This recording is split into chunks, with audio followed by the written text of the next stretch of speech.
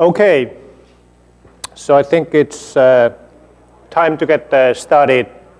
So hello everybody, my name is uh, Sakari Poussa, I work for Intel, and um, I, am uh, a software architect in the uh, Intel Open Source Technology Center. I'm uh, based in, in Finland. And what we're going to talk about today is JavaScript for IoTivity. So I'll explain a little bit the background, what is IoTivity, what is uh, open source uh, in, uh, Open Interconnect Consortium, OIC for short, what is the relationship to this uh, IoTivity, uh, what is the relationship to the JavaScript and nodes, and, and, and finally to the uh, cloud APIs. But before going into the details of, of all of those, uh, here's a, a, kind of a vision picture uh, or diagram what we want to achieve. And, and by we, uh, I mean the, uh, the web team in, in Intel, uh, Intel as a whole as well. And then uh, I think the, based on what I'm seeing here and, and, and in the industry in general, I think this applies to, to the theme what's, what's going on in, in industry. So the, in the IoT world, we have, you know, it's a, it's a complex area, but trying to simplify it, you have those uh, smart devices, sensors, and, and, and, things like that. And then you have a whole bunch of protocols uh, that these uh, uh, uh smart devices are, are, trying to talk to each other. Then you have uh, some sort of gateways in between, and then you have the, the cloud and, and, and the mobile uh, and, and, desktop devices accessing the data. So in, in, in the uh, um, cloud, in the upper uh, side of the picture, the, the REST APIs are, are pretty much the, the common uh, type of mechanism to, to access this type of data in the smart devices area, uh, there's, as I said, there's a whole variety of, of, of, protocols, and, and usually they don't interoperate between each other. So really the, uh, the vision here is that uh, we should be able to use JavaScript for everything, meaning that uh, you can uh, uh, use JavaScript to program your tiny little sensor. You can use JavaScript to do the, the gateway functionality, the cloud, everything. So that's the only skill set is JavaScript and, and web technologies in, in general. So with that, I'm not saying that that's the only model. This is just enabling the web um, developers to innovate on, on, on, on, the IoT.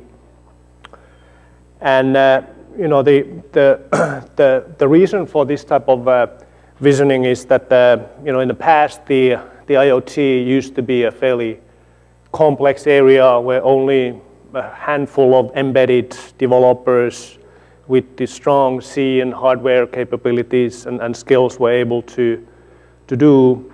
And, and there's only a handful of those experts.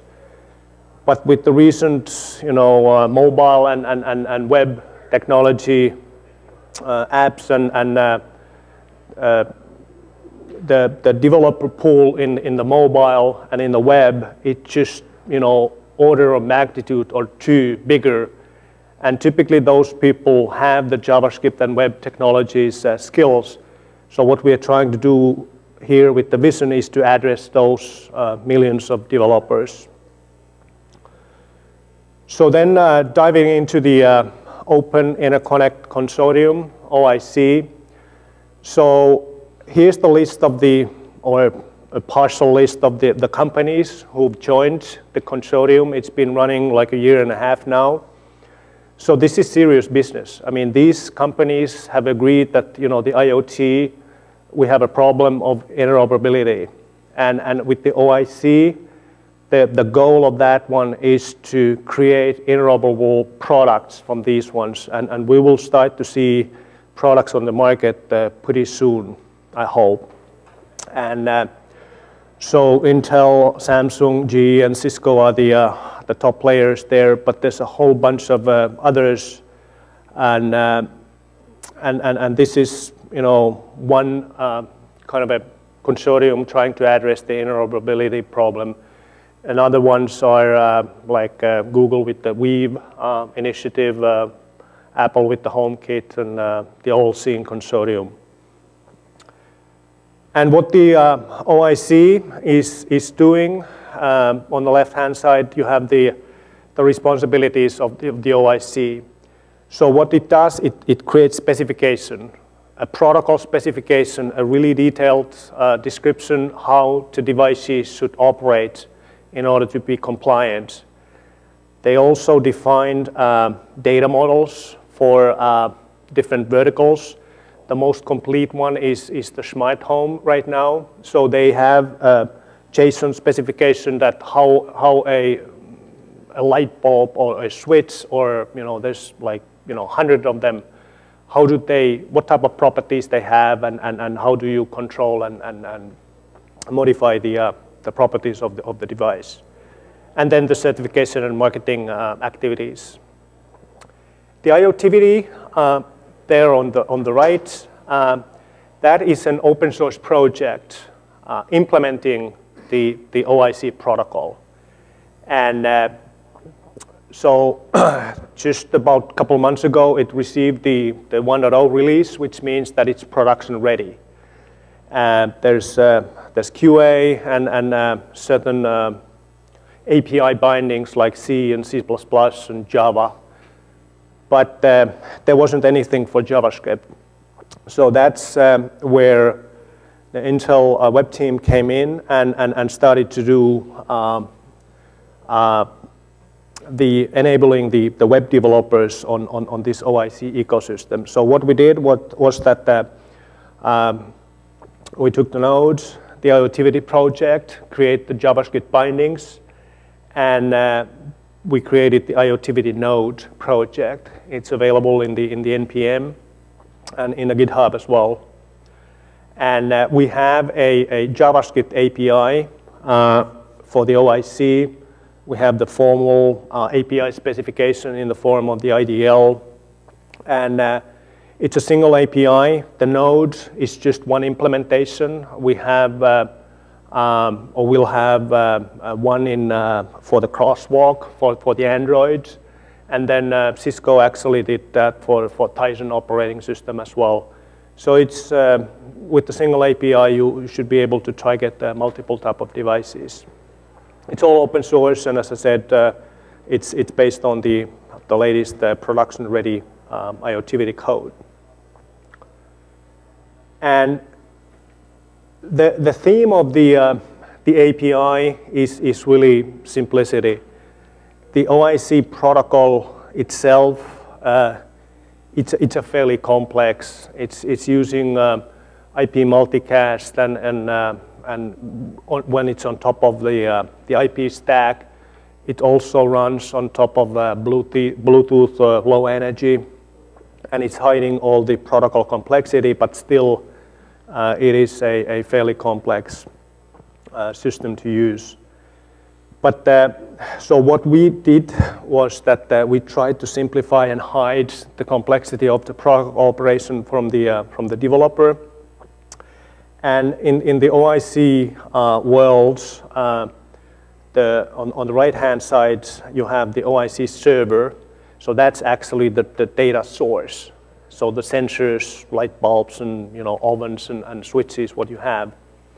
So what it's doing on the server side, uh, you, you use this register method to register what type of uh, uh, properties you have. Like, uh, you know, I have a, if I'm a light switch, I, I, I have an on-off property. If I'm an oven, you, you can have a multiple uh, levels of, of, of properties. And uh, once you've done that, uh, the client side can start discovering and, and, and reading your, your properties and, and, and setting and, and uh, controlling you. And all you get is uh, these events. So somebody is retrieving or updating or start observing your resources. And uh, then you need to write a little bit uh, JavaScript on top of those event handlers. On the client side, uh, so that's kind of the, the gateway or the mobile device who is trying to figure out who are there on my network. So the discovery is the first thing you do. And for that, we have the, uh, uh, the find resources. And uh, um, you issue that command, and then you start uh, uh, getting events that the resource is found, and then what type of resource. And then once you found what you're looking for, you issue these retrieve, update, or observe um, um, methods. So this is how the, uh, the discovery work. So on the left-hand side, the, the, the clients, for example, a mobile phone running the uh, our bindings, or this could be a node uh, gateway as well. So it's issuing the discovery, so that's an IP multicast or, or BLE uh, packet into the network. So what you really do on, on, on the client side is that uh, you, you require the, uh, uh, the OIC, and uh, you have two roles, the client and the server. The server is the default one. And then you get the device object, and then you start issuing the, the, the methods. So you find resource, and then uh, you get an event that, okay, resource was found. You get multiple of these ones depending on uh, how many uh, um, sensors or, or, servers you, you found on the network. Then on the, uh, on the server side, uh, you do the same require statements and, and, and you register your uh, resources. So you said, what, what is my URL, what type of resource, these are all the uh, OIC specified uh, uh, properties, whether I'm responding to the discovery, and, and these, what are my properties. So in this case, it's just you know, an on property. And that's basically, with these, you are done with the, with the discovery. So the next thing is what the client wants to do is to retrieve some data from the sensors and uh, perhaps update uh, the property, turn something on and off. And, and uh, so similarly, uh, you on, on the event handler, uh, you issue these retrieve and update uh, methods. And uh, just with, you know, 10, 15 lines of code on both sides, you are able to create a interoperable uh, client and, and, and, server with, with, with JavaScript. And um, so we spent quite a lot of time with the semantics and, and uh, uh, developer uh, feedback on, on, on, these APIs, and, and, and we feel that they are in pretty good shape right now. So, so this is for the, uh, the local network, but then uh, what about the clouds? So the, uh, the discovery doesn't work over the cloud or internet uh, because the lack of multicast and, and, and things like that.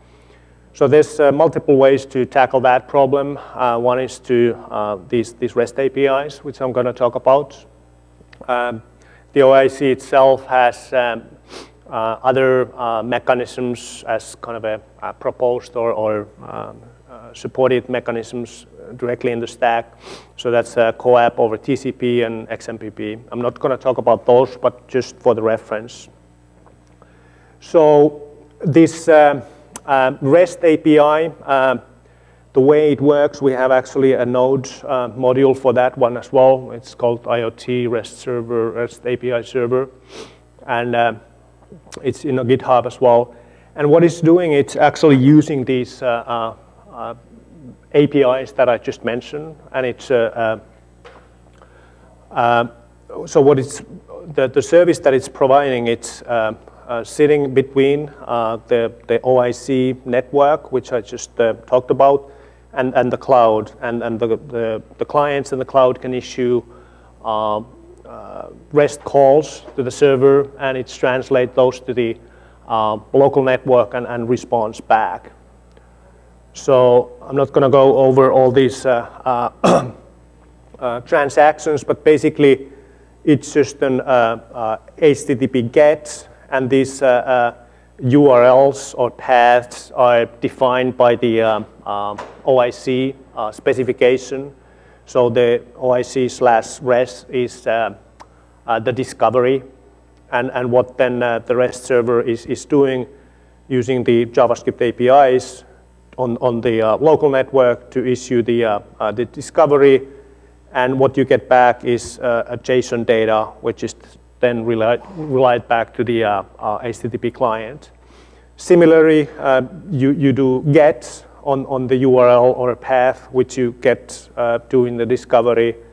You get the data, the, all the properties. So in that case, the properties, you have the lights, the properties on, uh, is, is false, and then finally you can use the put method to, to, to change that to something else.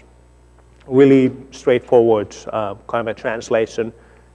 Why this is so easy is that the OIC protocol itself, it's uh, following the REST model. So it's uh, stateless. You, you issue a request and you get a response back.